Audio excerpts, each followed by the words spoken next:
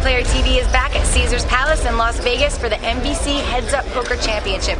Today is the second day of play, and 32 players will take to the belt. They'll try and move on to the next round. The featured table of the very first bracket is Doyle Brunson and Erick Lindgren.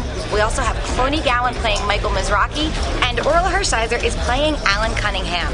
We'll be back later to let you know who wins these matches and what's going on here at Caesars Palace and the NBC Heads Up Poker Championship. I'm Lizzie Harrison for Card Player TV.